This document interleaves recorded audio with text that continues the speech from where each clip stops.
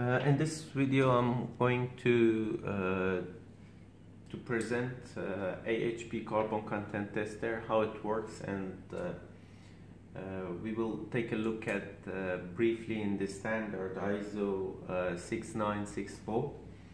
I will show you how you will measure the carbon content of polyolefin um, plastics using these tester based on this standard, uh, we need to uh, measure a specific weight of the material, that is uh, exactly one gram, and weight it uh, to the nearest uh, 0.1 milligram. Approximately one gram of material will be weighted and we will put it in this uh, boat sample boat. It's a ceramic sample boat. And also be noted that the furnace need to be uh, capable of uh, preparing 900 uh, plus minus 50 degrees centigrade. Uh, for this purpose, the uh, the tube of uh, the furnace need to be quartz, and also the furnace will be capable of supplying uh, something about 1000 degrees centigrade. Uh, what, what we will do in this uh, test is that we will measure one gram of the um, polyolefin material, put it in the sample boat. Then, before starting the, the, the furnace, uh, up to the first temperature, the first temperature level is uh, uh, 5 50 plus minus 50 degrees centigrade. We will start the furnace and also start the nitrogen purge in the tube. As you see here, the gas will come to the uh, unit through this input. This input is the input of the uh, glass rotameter.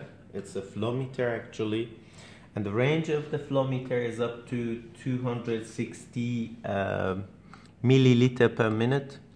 Then after from the exit of this rotameter it will come to the trap. The trap will be uh, will be including uh, um, pyrogallol uh, I will uh, show you how you will need to prepare this uh, solution. Also here we have a U-tube that is including uh, silica gel for dehumidizing the uh, gas. Then the gas will be input to the uh, tube. As you see the tube can uh, go into the end cap and you can take it out easily.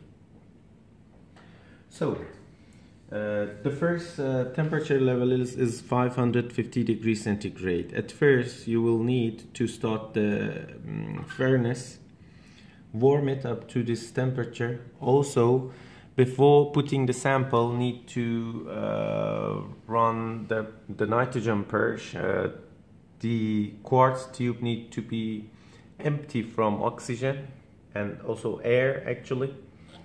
Uh, after weighting the sample, you will slide this tube in this direction. you will you will put the sample inside the uh, holder. This is sample holder here. Then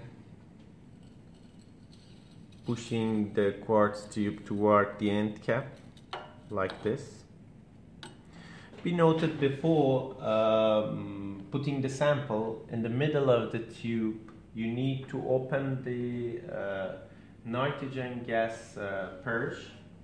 Nitrogen gas purge in this stage will be 200 uh, cubic centimeter per minute. As you see in this standard, uh, you will adjust the nitrogen flow up to 200 using this glass rotameter up to 200 then uh, you will wait for five minutes, something about what five minutes, and then nitrogen gas coming here, going to the pyrogallol. Pyrogallol absorbs oxygen from the nitrogen, and then the gas will come to the U, U tube. Uh, uh, in U-tube, there is a silica gel. It it will absorb the humidity of the gas, and it will come into the uh, quartz uh, tube and it will purge the oxygen uh, from uh, the inside of this tube and it will be completely empty from the air and oxygen.